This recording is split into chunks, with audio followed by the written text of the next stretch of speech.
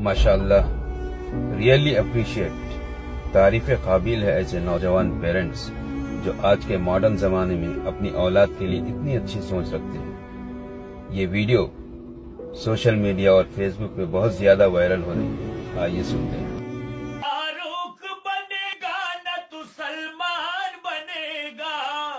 बेटा है मेरा, हाफिज कुरआन बनेगा।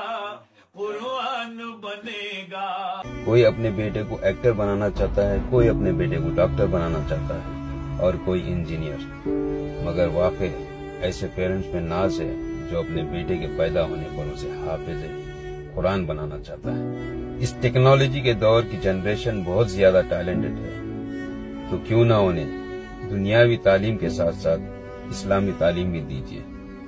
उन्हें हाफिज कुरान बनाइए, आलिम दीन बनाइए। ताकि वो दुनिया और आखिरत में कामयाब हो और आपकी ज़िंदगी का सुकून बने और जन्नत का रास्ता बने। कौन माँ बाप नहीं चाहते कि उसकी औलाद नेक और साले बने? चाहे वो कितने भी गुनहगार क्यों ना हो। अल्लाह हमारी औलाद को नेक और साले बनाए। आमीन।